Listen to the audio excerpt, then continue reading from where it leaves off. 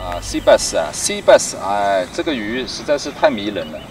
呃，我钓 sea bass 大概有已经有十十年了吧，十年的历史了吧。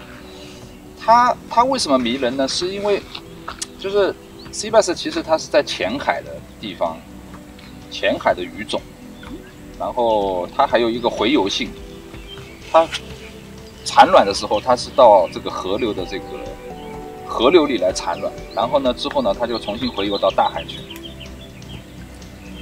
啊，在那边呃小的鱼啊从在浅海长大之后。重新，它再这样重新回来一轮。这个鱼之所以迷人呢，是因为它的分布非常的广泛。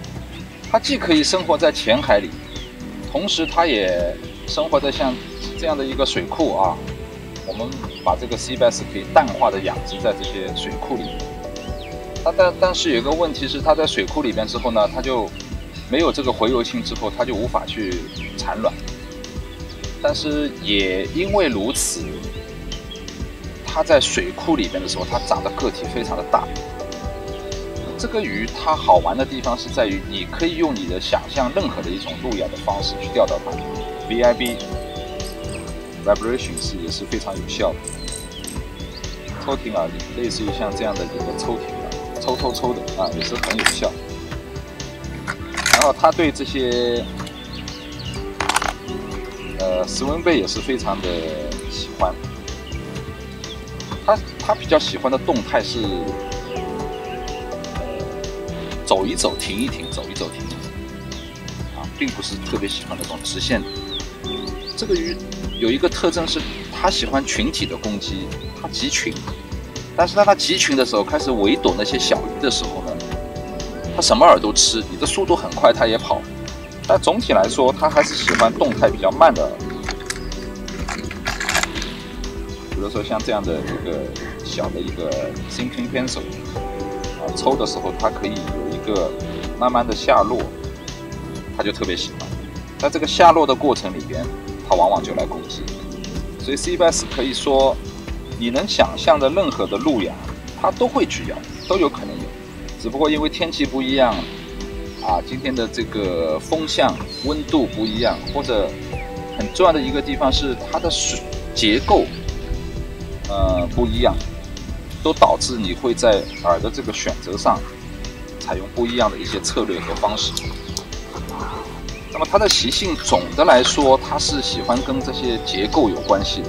呃，这个结构而且是那些固定式的结构，不是在水里的那些水草啊，而是固定式的结构。比如说有悬崖、一个断崖、断层或者一块石头。啊，包括海里的 C bass 也是的，它永远跟这些结构和障碍物是是相关的。所以在去选择这些标点的时候，首先我们会去看这些结构，然后或者去做一些鱼探啊，用一些鱼探的方式去了解它下面的结构。然后这个鱼呢，钓起来的时候的，因为它从小这么小可以长成啊，甚至于是二十二十磅、三十磅的这种巨大的体型，所以你并不知道你下一条 C bass 是是一个多大的体型啊，这也是它有特别神秘和好玩的地方。那么在中国来说的话呢是一般是它身上有七个点，它的背侧有七个点，所以我们常常叫它七星鲈。它的密饵的方式是吸吸入，所以当它在看到这个饵的时候，嘴巴张开的时候，那一刹那，这个饵就到它的嘴巴里。